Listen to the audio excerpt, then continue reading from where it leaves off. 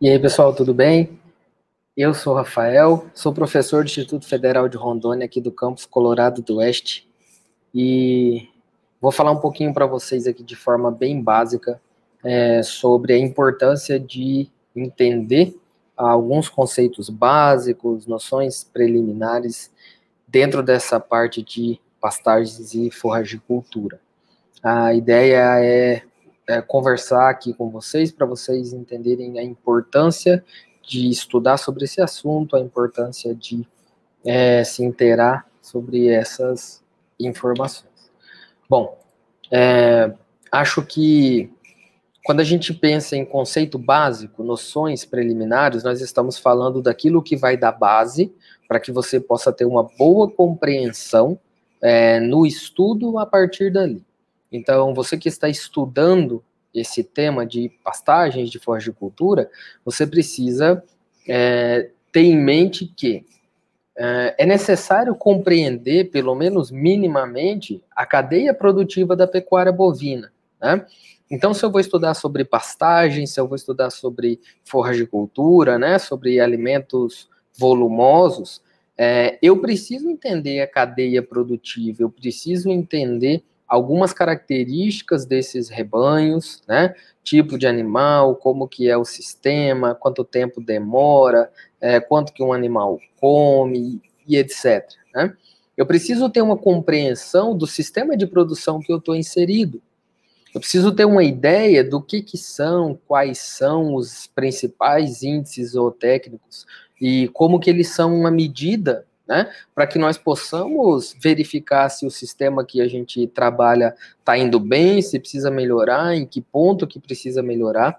Então, quando a gente fala de conceitos básicos, noções preliminares, é compreender a cadeia produtiva da pecuária bovina, entender os sistemas de produção, entender e compreender alguns dos principais índices zootécnicos, né? Eu trouxe aqui alguns exemplos, né, sobre isso.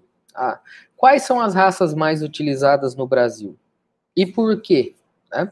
Por que, que nós usamos essas raças para determinadas finalidades? Por que, que nós não usamos determinadas raças? Né? É, quanto um animal pode consumir de alimento por dia e quais alimentos eles podem consumir? Que tipo de alimento? Né? O que, que é um alimento volumoso? O que, que é um alimento energético? Quais são os volumosos que a gente pode trabalhar? Né? Então, é, entender sobre uma série, isso aqui são só exemplos, uma série de fatores. Se eu vou trabalhar com gado de corte, né? Quais são as fases? O que, que é cria, recria, engorda, terminação? Né? O que, que é, quanto tempo demora a gestação de uma vaca, com quantos quilos um bezerro nasce, quantos quilos ele é desmamado, é, quanto tempo ele fica na fase de recria, né? É, todas essas informações são importantes no início para que a gente possa entender bem onde que nós estamos. Né? Então, se eu quero trabalhar com manejo de pastagens, por exemplo, eu tenho que entender que tipo de animal, como que é aquele sistema que eu estou inserido. Se eu quero trabalhar com a produção de silagem, é a mesma coisa, eu tenho que entender pelo menos minimamente sobre isso. Né? Então, índices zootécnicos, né, ou essas medidas, né, essas, essas informações, por isso que chamam índice, por isso que se chama índice, né? Essas informações que podem nos alertar sobre como que está o nosso rebanho, sobre, sobre como que está a nossa propriedade. Então, quando eu pego o intervalo entre partos de uma vaca, né? Qual que é o intervalo entre partos ideal? Né? Qual é a idade ideal para uma vaca, né, ter a sua primeira cria? Um bezerro, quando ele nasce, ele vai ter qual, qual peso, né, para cada raça, obviamente, quanto que ele tem que ter ao desmame, se esse bezerro é para corte, por exemplo, né? Quanto que é uma métrica adequada de arrobas por hectare ano de carne que eu vou produzir no sistema?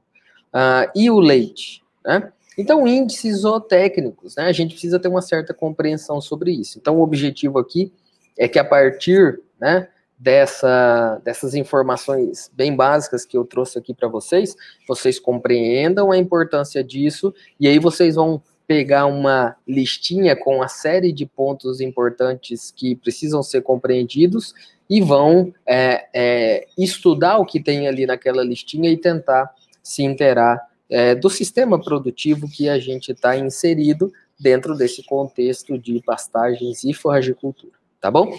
Caso vocês queiram mais informações, entrem em contato, a gente passa materiais, a gente passa algumas outras é, a, algum, algum, algumas outras informações também à medida com que vocês tenham essa demanda, tá bom? Obrigado por assistirem e eu estou à disposição.